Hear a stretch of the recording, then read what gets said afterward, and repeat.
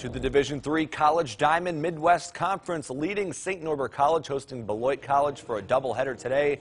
Bucks already up one in the second. They'll test Lucas Reynolds' arm in left. Not a good idea. The De Pere native fires a strike to the dish. And now you get Bryce Call at the plate.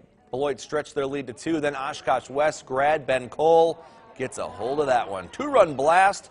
We're all tied up, but that was short-lived. In the seventh, Mitch Campbell with the first of two solo shots on the afternoon.